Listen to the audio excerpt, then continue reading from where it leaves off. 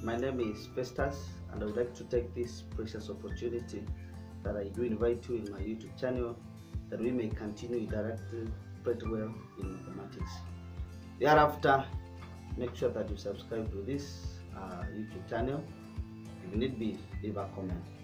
Now, for now, allow me to take you through what we call speed. We don't say that a speed is a specific distance. Specific distance covered in a specific time. In a specific in a specific time. Basically, we may also say speed is the fastness of an object uh, covering a, a certain distance. Now, if we may take a distance of point A and point B, and then take object Y and object X. Both objects are covering distance from this point here to this point B. And then maybe, for example, this one takes 4 hours, and this one takes uh, 5 hours. Therefore, we do conclude this object is faster or has a high speed compared to object X. Now, speed, how do we get speed? We do say speed is equals to distance over time. That's how we basically get speed. But we may extract this one from this triangle I'm going to draw here. Then I subdivide it this way.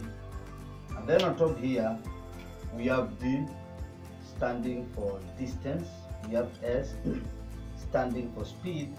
And we have T standing for, for time. Therefore, how do we apply this particular uh, uh, formula here? If you wanted to get speed, like in our case, they will say speed is equals to distance out of time. If you wanted to get time, you say time is equals to distance out of speed.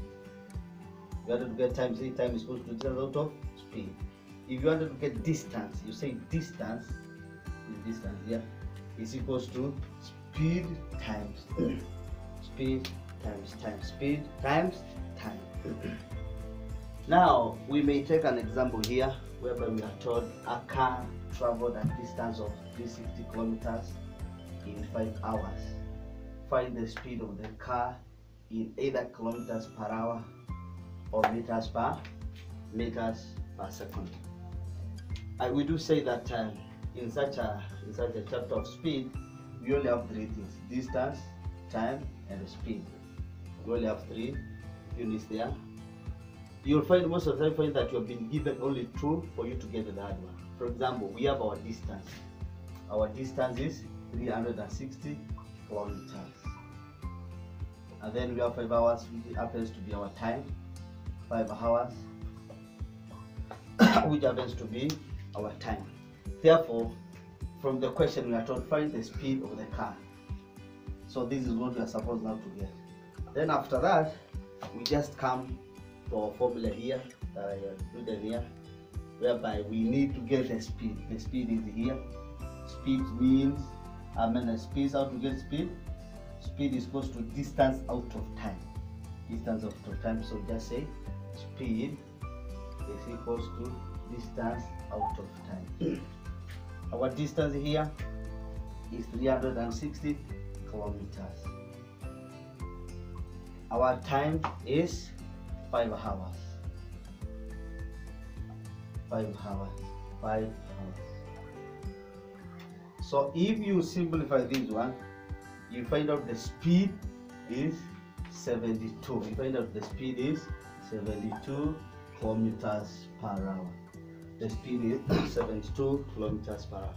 We go to part 2, whereby we are told to get the speed in meters per second. we already have speed in kilometers per hour. and remember, we have only two units that we use to get speed. It is either kilometers per hour or meters per, per second. So in such a chapter, if you are given time, if you are given time in minutes, you either change it to hours if the distance is in kilometers or you change it to seconds if the distance that will be given is in meters. But uh, we can change kilometers per hour to meters per second and vice versa. I have done research and there is a constant that I already have that will help you convert these kilometers per hour into meters per second very easily. This happens to be the constant that uh, 36 kilometers per hour is equals to 10 meters per second. This is a constant that I've already done research and proved that it can work. Now, we want to change this one to meters per second. Kilometers per hour should be on this side of the same kilometers per hour. So we ask ourselves, what about 72 kilometers per hour is equals to what? Is equals to what? Therefore, you can cross multiply. It means this one goes up, this one comes down.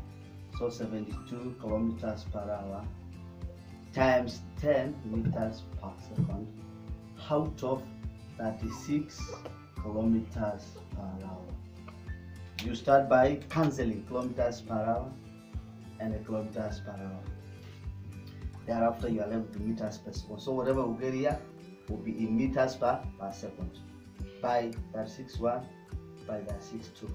2 times 10, it becomes 20 meters per second. That is how we convert kilometers per hour into meters per second. Thank you for watching. I invite you to watch the next clip.